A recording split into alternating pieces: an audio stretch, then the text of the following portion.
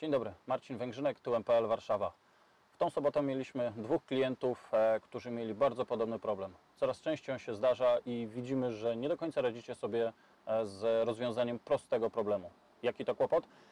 Obkręcona, zamieniona, przekręcona klamerka na pasie. Zobaczcie, dla przykładu i porównania, ten pas idzie w sposób prawidłowy, klamra jest w sposób prawidłowy.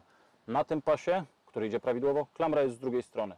Jeżeli będziemy chcieli zapiąć ten pas jest na tym odcinku skręcony i tu skręcony. Nie do końca jest to poprawnie.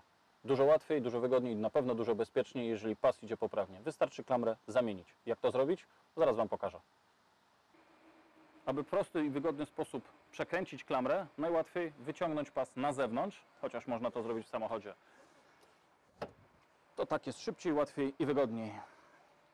Przekładamy nogę, blokujemy pas, napinamy, Klamerka jest od strony bagażnika, przekręcona będzie od strony samochodu. Powinno to wyglądać w ten sposób. Jak to zrobić? Ruszamy klamerką góra-dół, naginamy pas, tworząc pewne zagięcie. Musimy klamerkę wprowadzić to zagięcie i zagiąć pas. Rozkładamy pas w drugą stronę i kierując klamerkę góra-dół, góra-dół, przekręcamy pas. On powolutku będzie się przesuwał. Zobaczcie. Raz,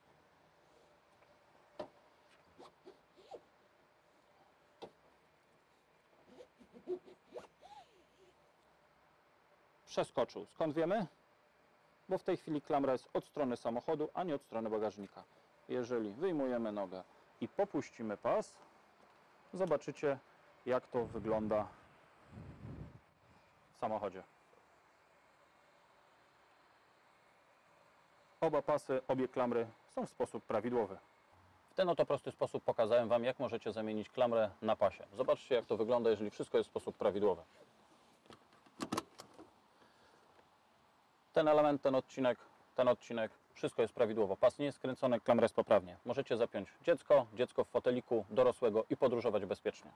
Jeżeli macie jakiekolwiek kłopoty z czymś związanym z fotelikami, nie bójcie się napisać, zadzwonić lub przyjechać. Nie kombinujcie, kompletnie nie warto.